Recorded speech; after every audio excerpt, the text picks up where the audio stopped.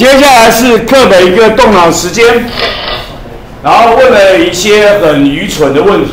这个愚蠢的问题在蓝雅国中的段考上出现过不止一次。他给了你一个日全食的地点、观测地点跟持续时间，给一个月全食的观测地点跟持续时间，然后问了两个问题，呃，不止两个问题，就这边问了问题，就是头两个问题，就是莱雅国中段考考过不止一遍。请问你谁的观测范围比较广？日全食还是日偏食？停车暂借问，不要举手啊！不要你刚你刚答过，不要举手。你刚答过，快点，要给别人机会哦。别人叫做十二号，十二号，十二号。来，谁的观测范围观测比较多、比较久的哪一个？月全食，请坐下。月全食的观测范围广。请问你谁的观测时间久？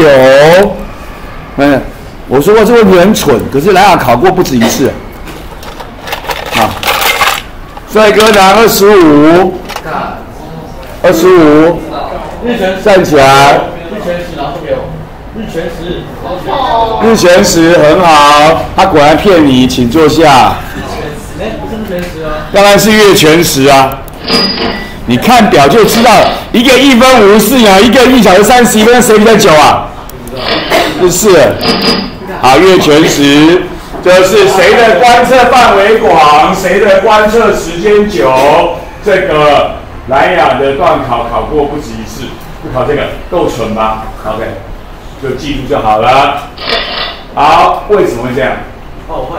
你最好说不要说你会，你们的参考书，你们的参考书通常就建议写什么答案？地球影子比较大，月球影子比较小，这个是事实，也是原因之一，但不是主要的原因，不是主要的原因。什么叫做日食？月球的影子落到地球上，对不对？地球会动，月球会动，月球绕地球动一圈二十九天、二十七天，地球转一圈只要一天，所以就当做月球不会动，月球影子不动，地球自转转进影子，发生日食，转出影子，日食结束。因为地球转得很快，所以进出时间很短，所以可观测的时间比较短。要月球影子的人才能看得见日食，月球影子比较小，所以看的范围就比较少。当然，当然影子大小有，但影子越大，观测时间就会越长，所以会跟什么近地、远地会有一些关系，那我们就不管它。什么叫月食？月食是月亮走进地球的影子，地球会动，公转一千三百六十五天，月球会动，转一圈二十七、二十九天。所以当做地球不动，地球影子不动，月球走进影子，发生月食，走出影子，月食结束。这个绕一圈的是用二十九天算，二十七天算，所以走的比较慢，所以花的时间比较久。当然，地球影子比较大也是原因，大原因比较大原因。所以不只是所谓的地球影子小，因为地球的影子大。月球的影子小，不只是这样的关系，还有它转的快慢，进出影子转的快慢，出影子的时间有关系。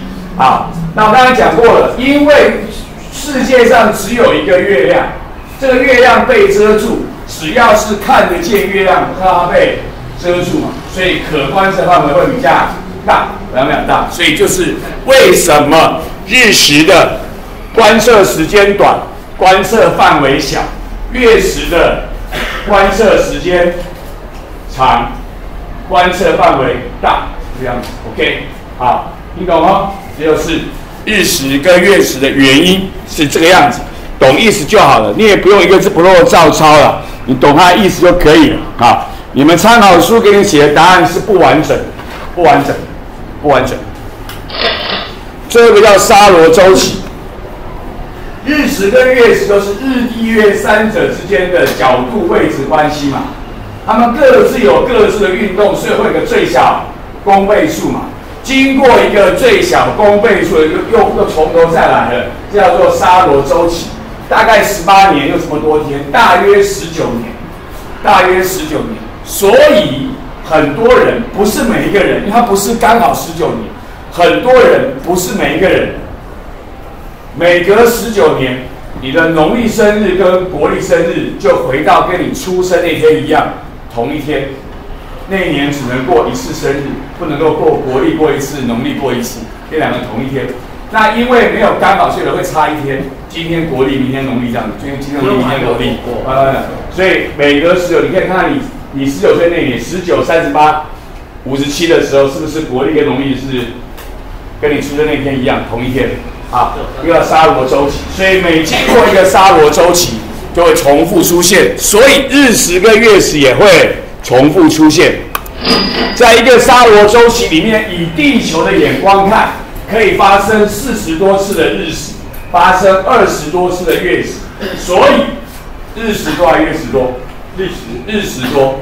但是你在任何一个地方做记录，记录我看到日食了，记录看到月食了，谁多？月月食多，为什么？因为日食因为日食的可观测范围小，月食观测范围大。今天有发生个日食，日本看到，我们不见得看得到。可是如果今天有个月食，日本看到了，我们一定看得到。我们应该应该说应该说一定的，所以正好卡在那个是月初的那个交接的地方，我认为我们应该可以看得到。所以任何地方做记录谁多，都是月食多，因为月食的可观测范围大。可是用地球眼光看谁多？日食多，叫做沙罗周期，OK，让你能够理解一下。家人无人问题不？没，很好，请写课堂练习。